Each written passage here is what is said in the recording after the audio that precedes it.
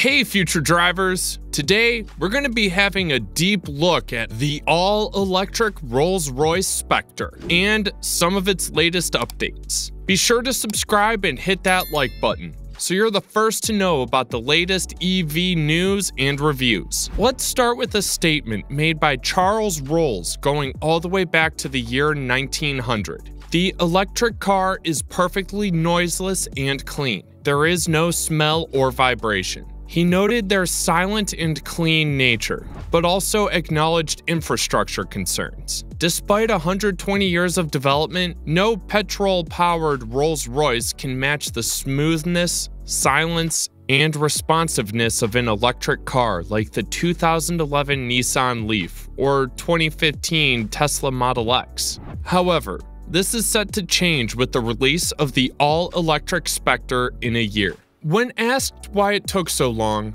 Rolls Royce CEO Torsten Müller Ötvös emphasized that the company's priority is to ensure that any electric car they produce is a true Rolls Royce first and electric second. Rolls Royce has a deep understanding of its customers' preferences, as the numbers of buyers is relatively small. CEO Torsten Müller Ötvös has been gathering feedback on electric vehicles from customers for over a decade. He notes that their attitudes toward EVs have shifted significantly in that time. Many Rolls Royce customers already own multiple cars, including at least one EV, and their feedback on electric propulsion is overwhelmingly positive. As a result, the Spectre electric vehicle will not have to educate buyers on the concept of charging with a cable instead of using gasoline. In 2011, Rolls Royce created a demonstration project, a converted Phantom known as the 102EX.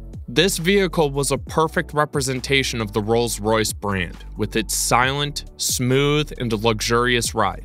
However, the 102EX was limited by its short range and long charging time. CEO Torsten Müller Ötvös notes that 10 years ago, customers were not ready for EVs due to the limitations of the technology at the time. However, Advancements in battery, propulsion, and software technology now enable Rolls Royce to produce an electric vehicle without any compromise on size, range, charging, or user experience. Additionally, he was not willing to compromise by converting a gas powered car into an electric one. According to CEO Torsten Müller Ötvös, the Spectre is as significant as the Silver Ghost, which was introduced in 1906. He believes that this marks the start of a new era for the company and deserves a celebration. The Fastback Coupe is a particularly emotional car, and its purpose is to replace the Phantom Coupe, which has not been in the range since 2016. The Spectre is a full-size Rolls-Royce and is quite large, with wheels measuring 23 inches in diameter, which makes it larger than a Range Rover. It can travel up to 320 miles on a single charge, and has a drag coefficient of 0.25, which is a result of BMW's extensive use of computational fluid dynamics and wind tunnel testing. Despite its size and weight of 2,975 kilos, the Spectre can accelerate from 0 to 62 miles an hour in 4.5 seconds thanks to its front and rear motors that produce a combined 585 horsepower and 664 pound-foot of torque. But above all, the Spectre is a luxurious and extravagant vehicle. The Spectre not only has to perform like a Rolls Royce, it has to look like one. It features the iconic Greek temple grille and Spirit of Ecstasy mascot, but with some variations. The grille is the widest ever on a Rolls Royce and does not require cooling for an internal combustion engine, so its primary function is to reduce drag. The vanes of the grille are also backlit at night for added visual appeal.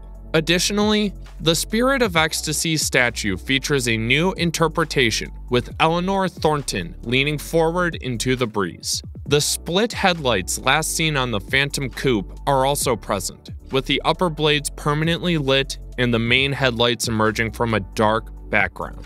The body of the Spectre exudes confidence in its design, Many cars today have relatively flat surfaces and minimal feature lines, but achieving a strong and cohesive design can be challenging. The Spectre, however, successfully executes this look with surfaces that convey a sense of monolithic strength. The few lines present are sharp and precise, making the vehicle appear as a solid block of carved metal rather than a piece of bent sheet metal. The chrome accents also contribute to this effect, creating the impression of hewn and polished mass. The door handles even have a resemblance to those of a bank vault. Opening the door, as with traditional Rolls Royce practice, the doors are rear hinged, allowing for easy entry and exit. The interior of the Spectre is distinctly Rolls Royce, but even better. No other car manufacturer can match the confident simplicity of the design. Every Rolls Royce since the Goodwood era began in 2003 has featured this aesthetic, which is more like furniture than a conventional car interior. The tactile physical climate controls and iDrive controller will be familiar to previous Rolls Royce owners. The instruments are presented on a screen, but retain an analog like appearance. They can also be customized to match the commissioned fabrics and leathers. The seats in the Spectre feature a lapel, a small detail of upholstery that provides an additional option for contrasting design. The doors can be customized with the Starlight feature, which includes 4,796 small bright dots, or with large panels of wood. Additionally, a similar Starlight panel can be placed on the dashboard of the passenger side. The Spectre is a four-seater, not a two and two, according to CEO Torsten Müller Ötvös. The spaciousness of the car is considered a luxury, and the owners may want to bring friends along for the ride. Even though it's a coupe and likely not to be used as a chauffeured vehicle, it is still a versatile car that can be used for entertainment, a night out, or just for leisurely drive. It is not a commuter car for the average Rolls Royce owner who has an average of 7 cars in their garage. With a range of 320 miles on a single charge, it will meet the needs of most owners who usually make shorter trips and have access to charging stations at home, work, and other places they frequently visit. The range of the car is not a concern for the brand, and owners don't need to drive from London to Edinburgh. Rolls Royce cars were never about range. The V12 Rolls Royce also doesn't go as far as 320 miles, and nobody has asked for a bigger petrol tank. We're gonna wrap it up here, future drivers. What do you guys think of the Rolls Royce Spectre?